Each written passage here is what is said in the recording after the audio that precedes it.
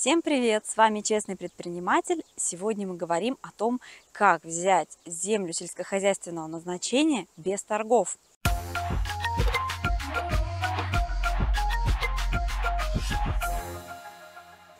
Рассмотрим два основных способа. Первый способ подходит для физических лиц, которые не зарегистрированы ни как ИП, ни как организация, но при этом хотят себе получить землю сельскохозяйственного назначения.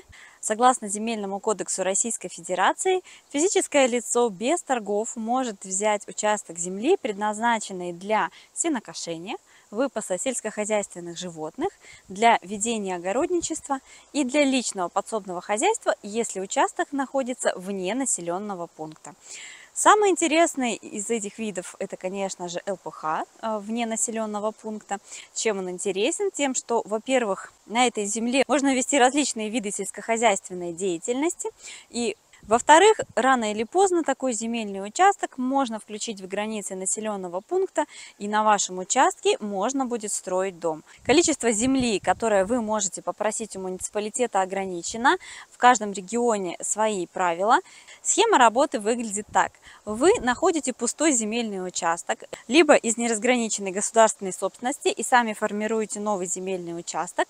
Далее запрашиваете себе земельный участок без торгов, получаете его в аренду Три года используйте землю по назначению, арендуете этот участок, платите без нареканий, все в срок и спустя три года у вас появляется право выкупа этого земельного участка. Выкуп в большинстве районов производится по кадастровой стоимости, но для сельхозземли это очень маленькие деньги. Кстати, есть вариант найти готовый земельный участок, который уже стоит на кадастровом учете, но пока что не является частной собственностью. Второй способ намного интереснее, но он подходит тем, кто зарегистрирован как ИП или готов это сделать для того, чтобы получить себе в собственность не меньше двух гектар сельскохозяйственной земли.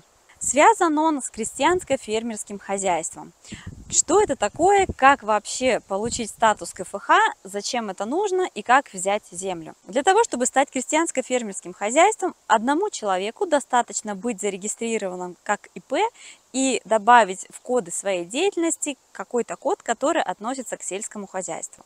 Растениеводство, скотоводство, что-то из этой сферы. Вы выбираете сами.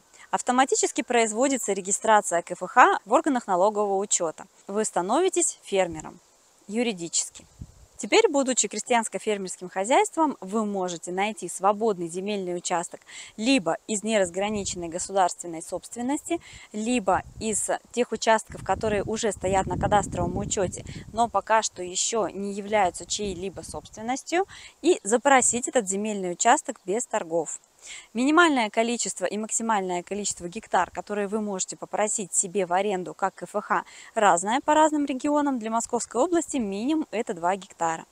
Соответственно, находим подходящий земельный участок и запрашиваем его себе в аренду. Арендуем земельный участок 3 года и спустя 3 года, если все было в порядке, если вы действительно использовали земельный участок по назначению, если не было просрочки по платежам, вы можете запросить выкуп этого земельного участка, опять же, в основном по кадастровой стоимости, но, как я уже сказала, она совсем невелика. В чем плюс и почему инвесторам стоит обратить внимание на эту схему получения земельных участков с помощью крестьянско-фермерского хозяйства?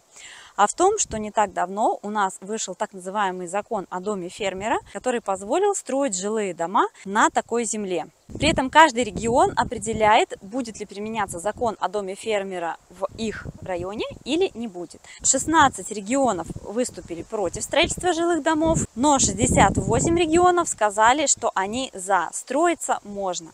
Фермеры уже начали строить и регистрировать свои жилые дома. Да, есть ограничения. Площадь застройки должна быть не более чем 0,25 от площади земельного участка. Дом в целом должен быть не больше, чем 500 квадратных метров и не выше, чем 3 этажа. Вот такие ограничения. Про закон о доме фермера мы уже говорили ранее, видео можно посмотреть здесь по ссылке. Но в июне 2024 года вышло дополнение к этому закону. Теперь фермеру разрешено самостоятельно выбирать виды деятельности, которыми он хочет заниматься на сельскохозяйственной земле. Помимо этого, фермерам теперь можно использовать свой жилой дом для того, чтобы разместить туристов. То есть фактически разрешено строить гостиницу на сельскохозяйственной земле. При этом даже если сложить стоимость аренды, обработки земельного участка, выкупа земельного участка спустя 3 года, то в итоге рыночная стоимость земли, которую вы взяли в аренду, а затем выкупили, всегда будет многократно превышать ту стоимость, которую вы отдали на всех этих этапах. Количество сельскохозяйственной земли не такое большое. В тех районах, где земля стоит достаточно дорого, мы говорим про Московскую область, области с ней граничащие, мы говорим про Краснодарский край. То есть здесь такая земля всегда будет очень дорогая, поэтому рассматривать ее как инвест-объект не только можно, но и нужно. Сейчас самое время обратить на нее внимание. Помимо этого, 160 закон от 22 июня 2024 года говорит о том, что теперь фермер может размещать торговые павильоны некапитальные на своем земельном участке и продавать продукцию прямо, так сказать, не отходя от кассы, прямо там, где он ее производит. Таким образом, что касается КФХ, то работа сейчас может вестись в трех направлениях. Первое – это найти земельный участок для КФХ, построить там жилой дом фермера и продать либо как готовый бизнес фермерский, либо как усадьбу. Второй вариант – это продать земельный участок как гостиницу, если в этом доме мы размещаем туристов. И третий вариант – продать уже как бизнес с торговым павильончиком, где, собственно, фермер будет сразу реализовывать свою продукцию. Есть один такой, на самом деле, большой подводный камень для крестьянско-фермерских хозяйств. Это то, что земельный участок, на котором уже построен дом капитальный, если этот дом зарегистрирован, то такой земельный участок межевать будет нельзя. Что касается инвестирования, опять же мы видим из года в год, что законодательство становится более лояльным по отношению к сельскохозяйственной земле, по отношению к местным производителям и создает для этого все условия. Также создает все условия для размещения туристов на своей земле для сельскохозяйственного туризма. Поэтому в этом направлении смотреть нужно однозначно именно сейчас, пока все только начинается. Также важный вопрос – это продажа дальнейшая участка для крестьянско-фермерского хозяйства. То есть, если мы говорим про ЛПХ для физических лиц, понятно, что вы его продаете точно так же другому физическому лицу, то здесь для того, чтобы купить такой земельный участок, человеку, покупателю придется стать тоже КФХ.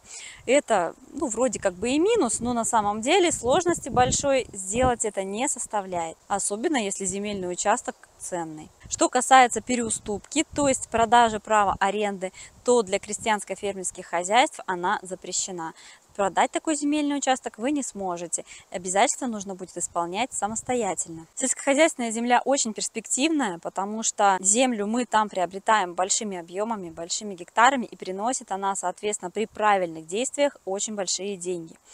Для того, чтобы в это все войти, нужно, конечно же, разбираться, э, обладать комплексными знаниями.